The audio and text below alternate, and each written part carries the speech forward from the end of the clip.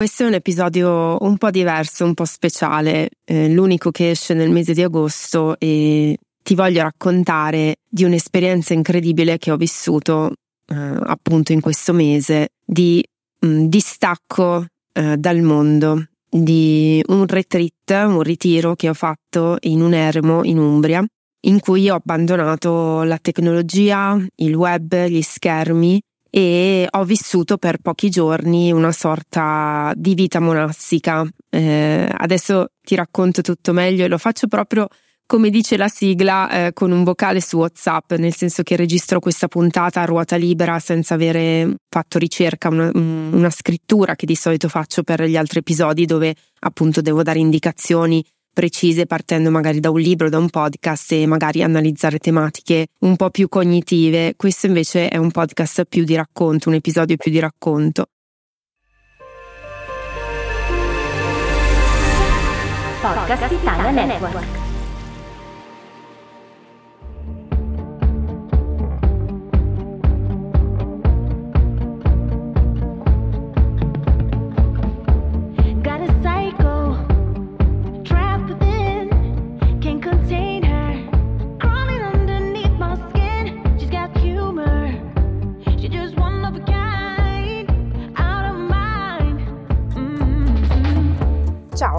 Sono Laura Donadoni e questo è un nuovo episodio di Intrepidamente, il podcast che genera scintille, ovvero spunti e idee per affrontare in modo intrepido la vita e i momenti quotidiani.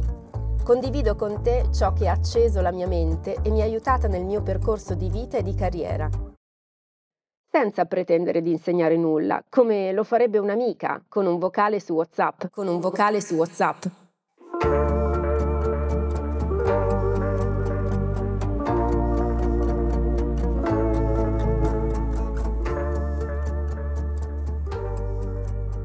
Innanzitutto partiamo dal perché ho fatto questo, perché ho sentito l'esigenza di dover in qualche maniera staccare dal mondo. Banalmente perché mi sono resa conto che eh, la mia mente continuava a tornare giorno dopo giorno sempre sugli stessi pensieri, eh, non solo perché siamo immersi in una routine, ognuno di noi ha una vita fatta di routine, di abitudini, quindi le abitudini personali, mm, prendersi cura di sé, della casa, della famiglia, del lavoro e quindi entriamo in una sorta di loop eh, in cui pensiamo spesso e volentieri alle stesse cose, ma proprio perché anche durante i miei momenti di meditazione, di riflessione o quando mi prendo cura della mia mente, quindi la terapia e la scrittura terapeutica, mi sono resa conto che c'era sempre un chiodo fisso, una sorta di tarlo, qualcosa che non riuscivo a superare. E quindi ho pensato che distogliermi da tutto, astrarmi da tutto, allontanarmi dalla mia routine e da tutti gli stimoli che io ho durante la giornata, durante la mia vita, avrebbe potuto aiutarmi a fare spazio per magari risolvere questo nodo.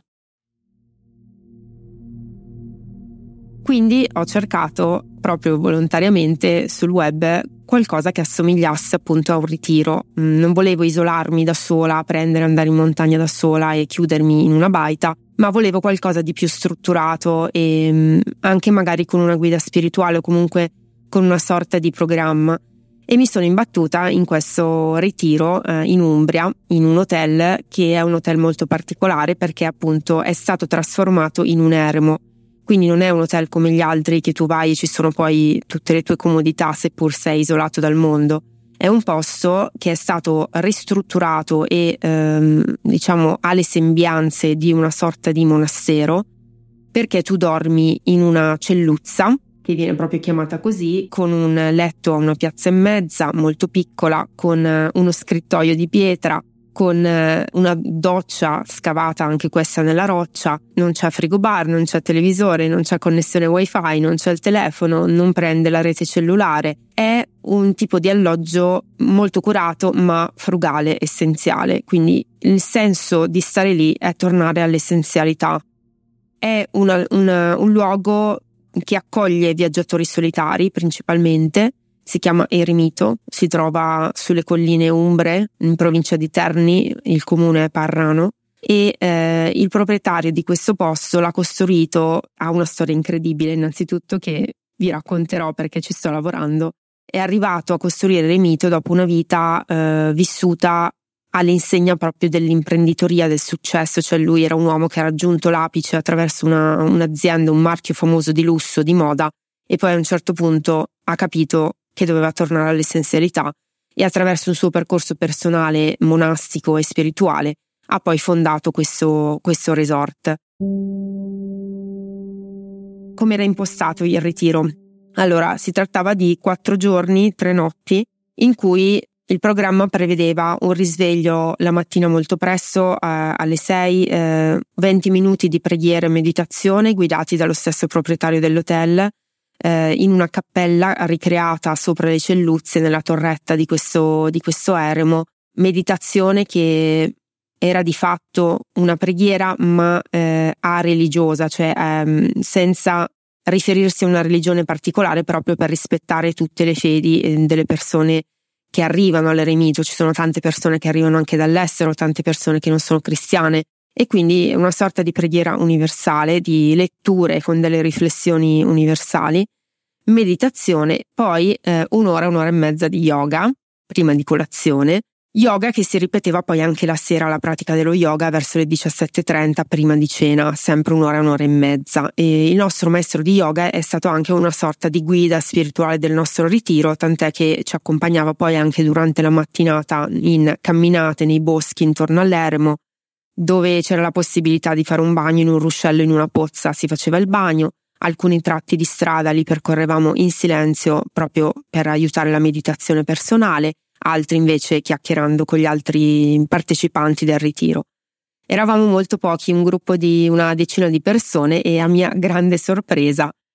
ero l'unica donna. Io mi sarei aspettata invece il contrario, un ritiro improntato allo yoga e alla meditazione, frequentato principalmente da donne, e invece eh, erano tutti uomini tranne me e tranne una persona che però era stata invitata per raccontare questa cosa sui social media, quindi non aveva scelto di iscriversi a questo retreat perché l'ha cercato, ma perché è stata invitata e quindi questa era una donna. L'unica donna iscritta spontaneamente ero io. Gli altri uomini erano tutti più giovani di me, quindi tra i 30 e i 40 anni, tranne uno che era più grande, il saggio del gruppo. E questo mi ha stupito perché sapete che io mi occupo anche tramite intrepidamente di eh, divulgazione sui temi della discriminazione di genere e lì sono stata io ad avere il pregiudizio e il preconcetto di pensare che un retreat del genere potesse interessare a più donne che uomini e invece sono stata subito smentita nel mio bias eh, di genere eh, incontrando uomini e ho avuto anche la possibilità di scambiare con loro durante i passi, in realtà il pranzo e la colazione perché la cena si svolge in completo silenzio, opinioni e eh, punti di vista sul tema appunto mm, delle differenze di genere ed è stato molto illuminante.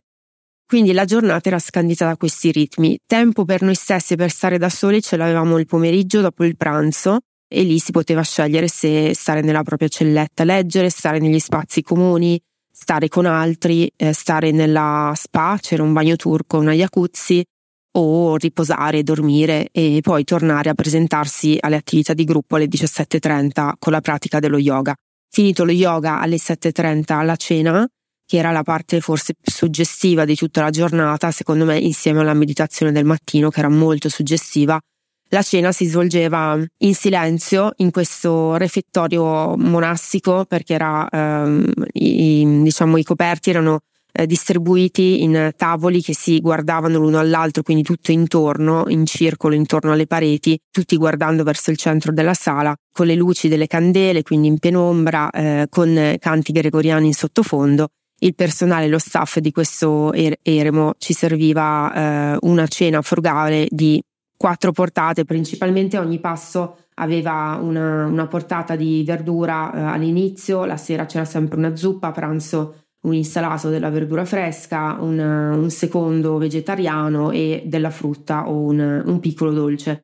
Non c'era la possibilità di scegliere, quindi si mangiava quello che c'era e lo si sapeva al momento. E anche questo è particolare per un hotel, cioè ti insegna ad accontentarti e a essere grato per quello che c'è ad accettarlo, eh, se non ti piace devi in qualche maniera fartelo andare bene o rifiutarlo consapevolmente e quindi anche questo era un passaggio di consapevolezza, in più consumare il cibo in silenzio eh, con questi canti gregoriani di sottofondo.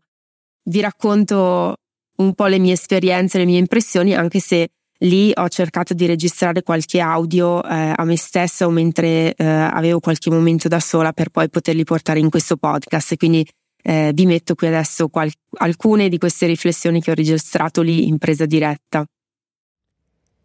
È l'alba del primo giorno di ritiro. Mm, sono uscita fuori per non disturbare nessuno e registrare le mie prime impressioni. Eh, ci si sente fuori dal mondo, ci si sente in una dimensione strana, diversa. Eh, si dà molta più attenzione alle persone intorno mm, che condividono questa esperienza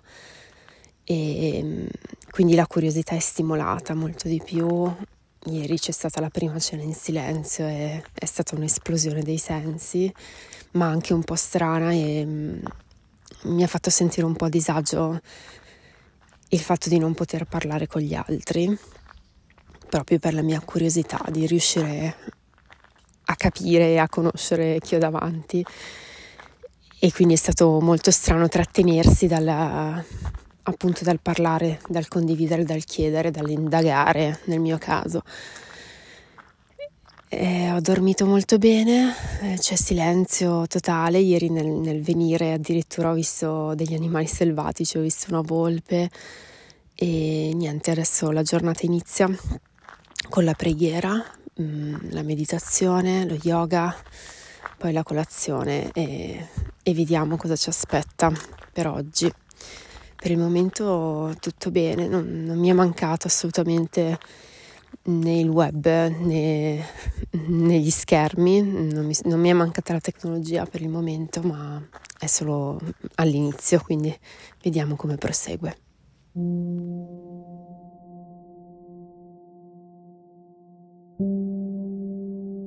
Ecco, il giorno 1 che dico appunto avverrà all'indomani dell'audio che avete appena sentito è, è trascorso in maniera mm, emotivamente forte per me. Il giorno 1 è stato il giorno in cui ho avuto, se vuoi, la, la mia prima crisi un po' emotiva perché mm, cambiare la routine e i miei ritmi anche solo banalmente spegnendo il cellulare e mh, mm, senza essere in contatto costantemente con la mia famiglia, con i miei cari o con le persone sui social è stato già un primo, un primo creare spazio e creare silenzio intorno a me. Da un lato c'erano le persone del retreat, del ritiro, che attiravano la mia attenzione e la mia curiosità e quindi ho avuto modo di avere scambi e chiacchierate. Dall'altro però eh, sentivo questo estremo bisogno che mi ha spinto poi a cercare un'esperienza del genere di silenzio. silenzio. Quindi di stare sola e, e appunto di elaborare i nodi su cui io sto lavorando.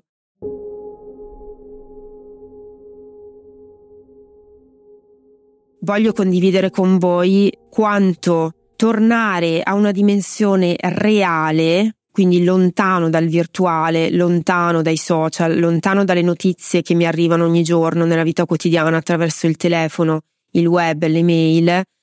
ha risvegliato in me eh, la consapevolezza della presenza, cioè il saper stare nell'esperienza che sto vivendo senza essere distratta da nulla. So che sembra una banalità, ma quando sono stata lì ho capito quanto mi perdo delle mie giornate per colpa della tecnologia che penso mi faciliti la vita, ma in realtà si prende buona parte della mia attenzione quotidiana. Quindi quella è stata la prima realizzazione.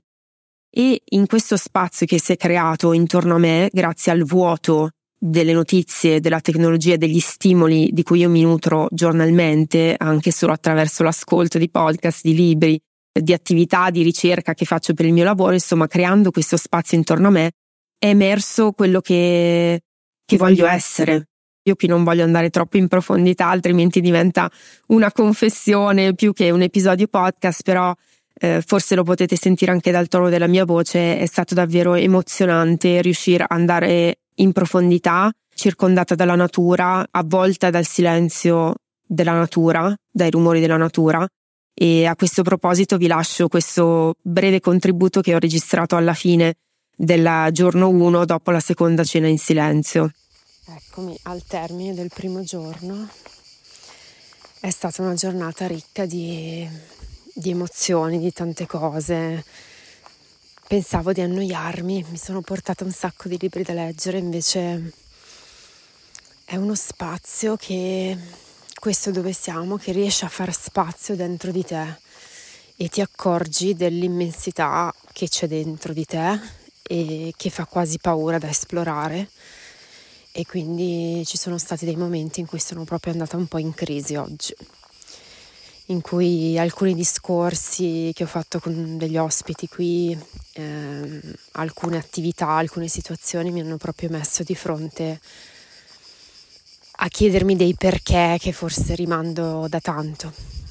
Eh, adesso abbiamo appena concluso la cena in silenzio e sto facendo due passi qui intorno nella natura prima di ritirarmi nella mia celluzza.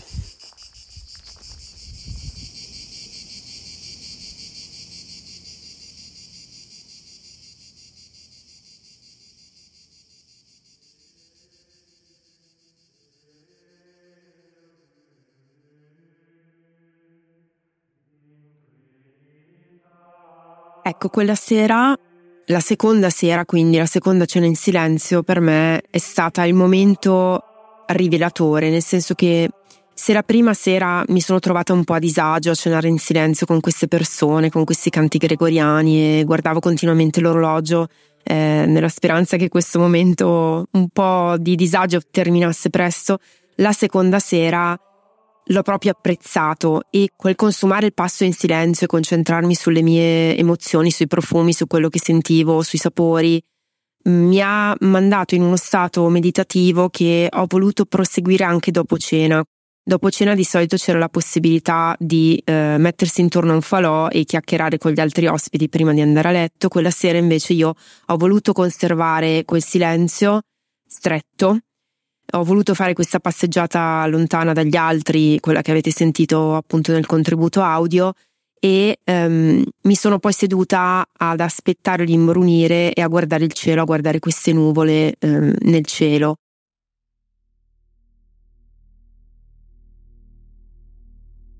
E lì ho provato una gioia infinita, ho provato la gioia di essere parte della natura, parte dell'universo, di essere piccola, ho provato proprio mh, mm, a togliermi dalle spalle le responsabilità di essere qualcosa e qualcuno, ma eh, ho accolto la gioia di essere insignificante, ho accolto la libertà di non contare nulla di fronte all'immensità della natura e del cielo. Mi sono messa in ascolto dei miei pensieri, ho lasciato vagare la mia mente e mm, banalmente cercando di guardare le, le forme delle nuvole, di immaginare cose fantastiche venire fuori da queste nuvole, immaginare storie. E ero affascinata dai viaggi della mia mente, osservavo i miei pensieri senza giudizio ma con ammirazione, veramente meravigliandomi della mia stessa fantasia, della mia stessa creatività che da tanto tempo non sentivo così vivida, così attiva, così presente e lì è stato veramente un momento di pura gioia e di pura gioia dell'esistere, non della gioia di fare qualcosa, della gioia di essere qualcosa, della gioia di essere con qualcuno, della gioia di data da un oggetto o da un'esperienza, era pura gioia di essere. Penso di essere riuscita a provare questa sensazione solo perché ho fatto spazio, solo perché mi sono data il permesso di ascoltare il silenzio, mi sono data il permesso di annoiarmi, mi sono data il permesso di fermarmi, di fermare tutto, di non essere stimolata e di sedere nella noia. E lì è arrivata la gioia, la gioia veramente. E ehm, quello è stato il momento più bello del retreat per me. Ecco, quindi voglio lasciarti e voglio trasmetterti questa questa suggestione, questa idea che magari per riuscire a, a raggiungere questa gioia e questa gratitudine dell'esistere mh, mm, basta poco, basta ritagliarsi dello spazio anche nella nostra quotidianità, non c'è bisogno mm, di andare su, in un eremo non c'è sicuramente bisogno e non è necessario per tutti fare un'esperienza estrema di questo tipo. Io ho scelto di farlo perché ne sentivo l'esigenza, mi andava di farlo, potevo permettermelo e mi rendo conto di essere privilegiata per, mm, per essermi potuta permettere eh, questo ritiro, ma mh, mm, tornata da lì ho cercato di portare nella quotidianità queste buone abitudini. In che modo? Limitando il tempo di accesso ai social media eh, a un'ora al giorno, po- un, un momento preciso della giornata. Non li voglio far entrare nella mia testa, nella mia quotidianità indistintamente quando mm, mi annoio, ma quando mi annoio voglio potermi annoiare. Quindi lasciare spazio alla noia. Questo mi sono portata a casa dal retreat e ho cercato di trascinare lungo tutto il mese di agosto e spero di riuscire a trascinare anche durante l'autunno e la ripartenza di settembre.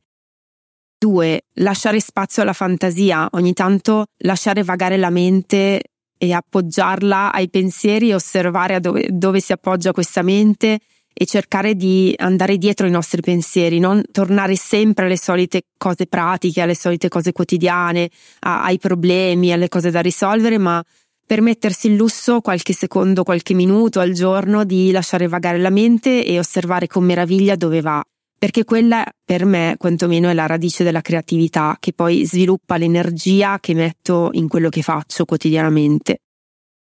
Tre, godere delle piccole cose quotidiane, assaporare il cibo in silenzio, godere di una chiacchierata con qualcuno,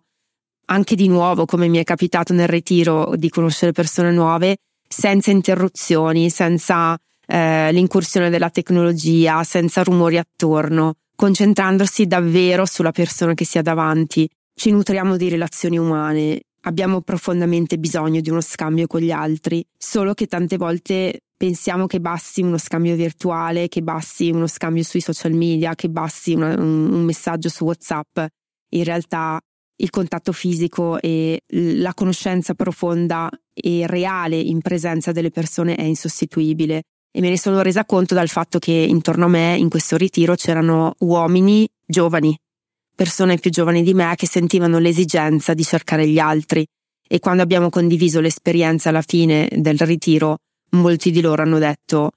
che la parte più bella è stata trovarsi in sintonia con dei perfetti sconosciuti. Mi viene ancora la pelle d'oca nel dirlo, seppur in poco tempo abbiamo condiviso frammenti importanti e profondi delle nostre vite e se me l'avessero raccontato prima di partire che io avrei condiviso cose così profonde con dei perfetti sconosciuti avrei detto no, non è possibile, io non sono una persona che si apre così al primo che viene e invece fare spazio ai sentimenti autentici e far cadere le, le armature significa anche questo, eh, essere vulnerabili, essere disponibili, poter vibrare con l'energia degli altri, questo è. Concludo questo, questo vocale, questo episodio fatto un po' vocale su WhatsApp, lasciandovi un po' i suoni della natura che io ascoltavo ogni sera prima di coricarmi all'eremito e, e niente, vi invito a trovare il vostro ritiro spirituale quotidiano dentro le vostre giornate, a portare anche solo 10 minuti, un quarto d'ora di eremo dentro le vostre giornate, perché questo per me ha fatto la differenza. Questa volta non c'è cassetta degli attrezzi se non consigliarvi di andare a vedere eh, Eremito, il, il resort che trovate semplicemente googlandolo online e magari ritagliarvi appunto la possibilità di fare un'esperienza del genere. Al prossimo episodio. Got a psycho trapped within, can't contain her, crawling underneath my skin. She's got humor, she's just one of a kind. Out of mind. Mm-hmm.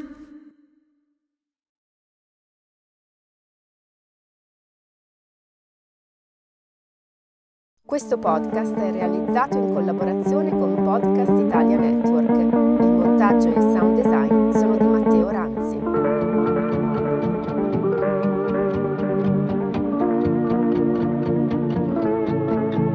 Ti ricordo che puoi trovarmi sui social o scrivermi alla email nella descrizione dell'episodio, soprattutto se hai domande alle quali cercherò di rispondere in questo podcast. Intrepidamente è il nostro posto sicuro di confidenze, scintille e stimoli. Seguimi e attiva le notifiche per non perderti il prossimo episodio. E se ti è piaciuto, lascia una recensione.